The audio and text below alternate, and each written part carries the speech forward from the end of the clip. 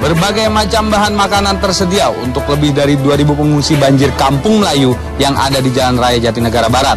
Mulai dari mie instan, makanan kecil, minuman, hingga beberapa karung beras tersebar di tenda-tenda yang ada. Namun sayang, para pengungsi mengaku bingung, bingung dengan tidak tersedianya dapur umum di sekitar tenda pengungsian. Para pengungsi harus berjalan sekitar 1 km untuk menuju dapur umum terdekat. Cukup banget. Uh, cuma tempat tinggalnya kayak gini aja. Lalu uh, untuk ketersediaan dapur umum di sekitar tenda ada nggak Bu? Nggak ada, jauh dari sini. Lumayan. Kira berapa jarak jaraknya? Berapa? Ya ada satu kilo ya. Eh, kilo ya? ya Oh, tapi untuk ketersediaan bahan pokok makanan cukup. bingung untuk mengolahnya atau gimana Bu? Ya iya pasti. Oke deh, makasih ya. Pengungsi yang ada terpaksa tetap mengandalkan makanan yang sudah jadi dan terbungkus yang disediakan oleh posko relawan yang ada. Padahal makanan bungkus tidak bisa bertahan lama.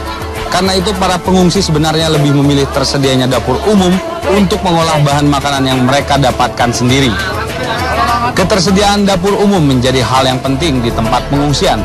Bahan makanan yang tersedia akan menjadi sia-sia jika fasilitas dapur umum tidak ada atau harus ditempuh pengungsi dengan jarak yang jauh. Peka Rizky, Jakarta.